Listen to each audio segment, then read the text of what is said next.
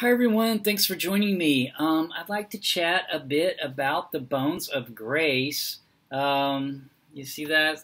I'm in the room with the with the windows, so it's got quite a bit of a glare. But there is the cover for the Bones of Grace. This is by Tahmima uh, Anam, and this was published back in 2016, originally published in the Great Britain, from what I understand, and then um, later also here in the U.S. Um, 2016.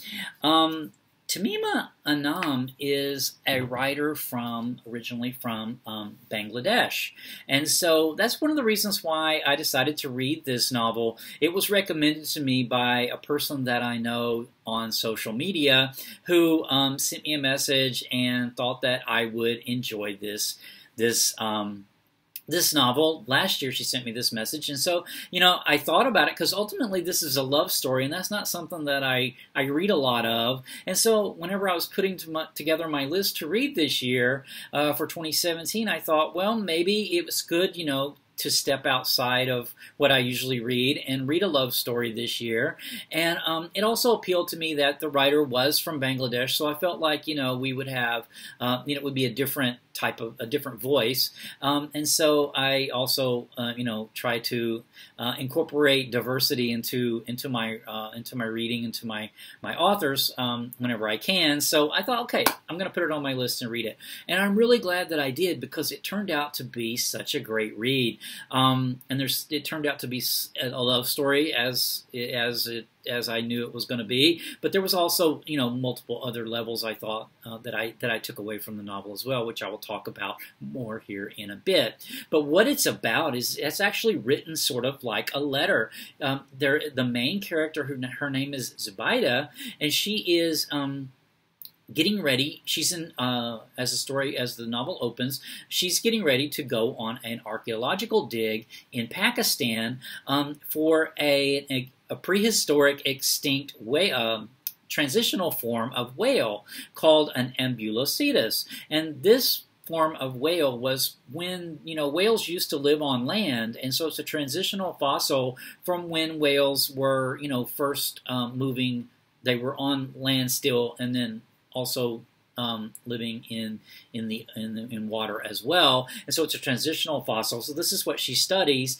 and she's about to leave. But before, right before she leaves, like the week she's going to leave, before she's going to leave, she meets this guy Elijah, and they have this sort of electric, um, immediate connection and bond. Um, and they spend the next week, you know, getting to know each other. She meets his family, etc. But then ultimately, um, you know, she does um, need, she, she lets him know, you know, I'm about to go on this archaeological dig. Then she also lets him know the rest of her story, which is that she is engaged to someone that she's planning on marrying after this dig back in Bangladesh, whose name is Rashid. And they have been um, they were they knew each other as children their families are linked and so it's always been expected that they were going to get married and so that's her plan she plans on doing this so she lets elijah know this and um, you know he is um, of course um, not you know, terribly happy about that, but, you know, sort of accepts it for what it is. Um, she does go on this dig. Um, then she, um, the dig is in Pakistan. It's in sort of a tribal area where it's, which is politically unstable, so the dig is called off at one point, and she has to abandon the fossil there, which causes her a great deal of distress. Um, and she does go to Bangladesh and marries Rashid. And she almost immediately regrets it because she stayed in contact with Elijah um, back in the U.S., you know, this whole time, but she feels like, you know, that she has to, um, that her course was already set before and she cannot deviate it from it at this point without uh, hurting a lot of people, her family, Rashid, and Rashid's family, who she has known her entire life. Um, the other thing that sort of bothers her is the fact that she's adopted. Um, she has known this for quite some time, but anytime she tries to find out additional information about this, the families, uh, her family and Rashid's family, who knows about it, um, won't talk about it, and so she's sort of left with a lot of unknowns around that, which really alien feel gives her uh, leaves her with this sense of alienation from the families. Um, but then, um, you know, after she marries Rashid, a series of things happen that I won't go into here. Um, but she um, ultimately decides to go away to Chittagong, which is a different city. They live in Dhaka, the capital. They're gonna. She decides to go to Chittagong, which her in-laws have a house down there. So she goes down there to sort of be alone and get herself together. Um, and she um, takes a job working with a British documentarian who is doing a documentary on shipbreakers because in Chittagong there is this whole industry where ships are run aground there and then dismantled by the workers there. And so um, she becomes involved with uh, with that, um, and in the course of that um, documentary, there is a cruise ship who the name of the cruise ship is Grace, and the cruise ship is um, is brought there to be dismantled, and so you know the bones of Grace, Grace. So um, and then when she's in Chittagong, then um, she renews sort of a contact with Elijah, and I won't give much more away about that at that point. Um, uh, but she, um, while she's in Chittagong, she also runs into this other man named Anwar, who runs into her on the street because of a case of mistaken identity, which is further explained in the book, but I won't give away because it would be a spoiler. But Anwar is another person who, like her, um, made this decision earlier in his life that he felt had disastrous consequences, not only for him, but for someone else, uh, a woman that he had been involved with. And so he is searching high and low for this woman um, who he had abandoned um, earlier in his life, I think about maybe like 10 years previous. And um, anyway, so their stories sort of intersect there in Chittagong.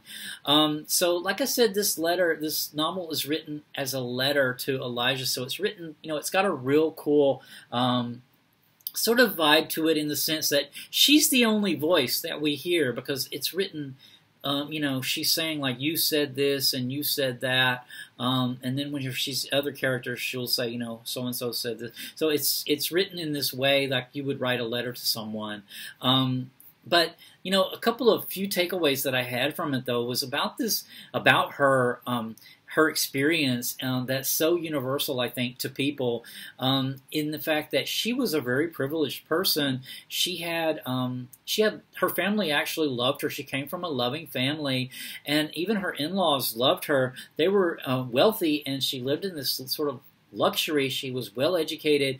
Even when she was at uh, Harvard, she got the there was one slot to go on this archaeological dig, and she was the one who got it. So she was even privileged in that sense. You know that in that getting that slot though and going on that archaeological dig ultimately took her away from Elijah and um, her family's love and the love of her in-laws was not enough to overcome this feeling of alienation that she had around um, her origins and where she had come from which haunted her.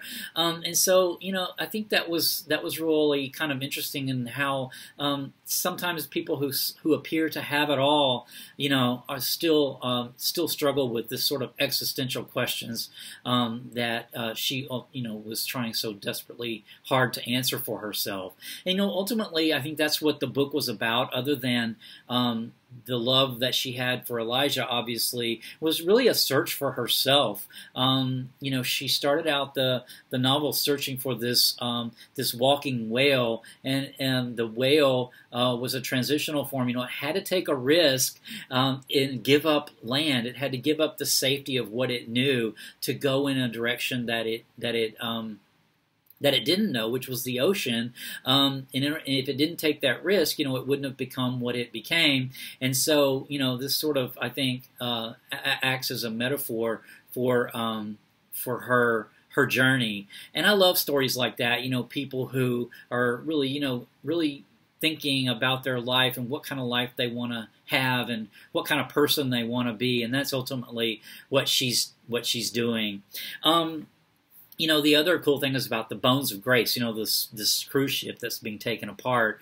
Um, it brings her and, and and elijah and some other people uh, very important people to her together. Um, you know by deconstructing that um, deconstructing that ship um, you know she's reconstru- she's constructing actually the person she's gonna uh, by watching the deconstruction of that ship, she's not actually working on the deconstruction, but by watching that, she's actually constructing, you know, the person that she wants to be. So, um, I before the uh, before the um, chat's over, I just wanted to read a, a quick quote from the book because I feel like, um, you know, that this quote um, really sort of describes um, her, her, this the way that the story is written, uh, this letter to Elijah, um, and also a bit about her journey. So um, the quote is this Worse, the more I wrote, the more I realized I couldn't change a thing. I couldn't sand down the rough edges of my words to you, nor make myself turn to look at you with your fingers wrapped around that bottle of honey, because that is how it happened, and there is nothing I can do to push my hand back into the black of our past. I have been tempted to bend the truth, to paint myself a little prettier but I know you hate evasion more than anything, so I have been relentlessly, brutally truthful. I have placed my ugly, complicated heart within these pages, and although the shame hasn't passed, I tell myself at least I have been able to face it.